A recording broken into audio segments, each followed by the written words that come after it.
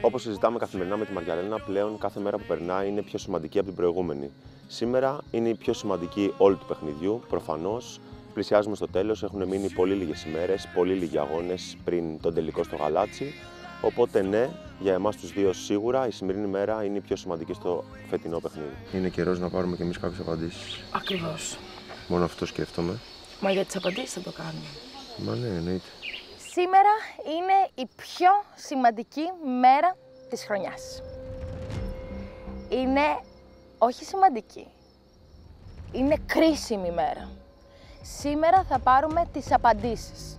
Είτε τις απαντήσεις που θέλουμε, είτε τις απαντήσεις που δεν θέλουμε, αλλά θα πάρουμε απαντήσεις όπως και να έχει.